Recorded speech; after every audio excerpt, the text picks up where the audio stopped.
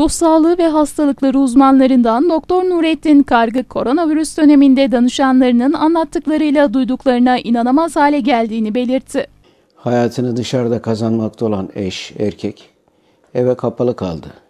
Evlilikleri iyi giden aileler birbirlerini daha önce saygıyla, sevgiyle karşılayan, birbirlerini e, tanıyan e, aile aile fertleri beraber ol, olma saatleri, beraberlikleri uzayınca bu streslerini de dışarıda atamayınca yanına da ekonomik sorunlar eklenince e, çatışmalar başladı.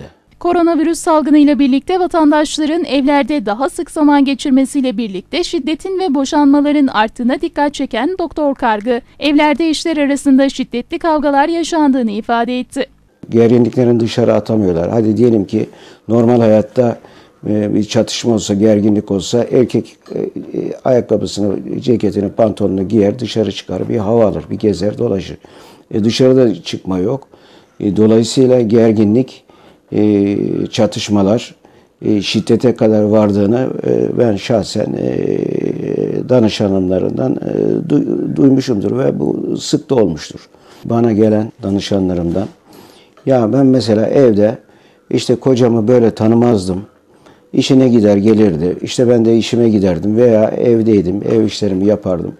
Fakat e, huyları e, değişik huyları ortaya çıktı.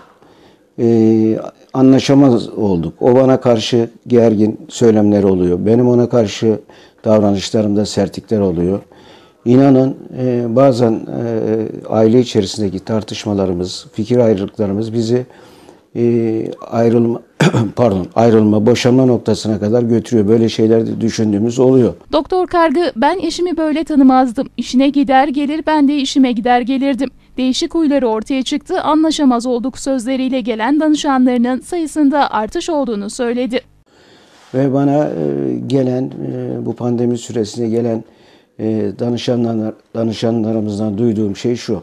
Ya doktor bey biz e, vallahi billahi evde e, karımla geçinemiyoruz. Dır dır dır dır dır gerginlik çocuklar bir yandan bir yandan iş bir yandan e, eş bir yandan aş sorunu e, gerildik. Yani boşanma noktasına geldik diyen çok kişi olmuştur bana. Virüs pandemisi sırasında bana gelen danışanların içerisinde duyduğum, gördüğüm, işittiğim yani boşanacağız, boşanma davası açacağız veya açtık diyen danışanlarımız olmuştur.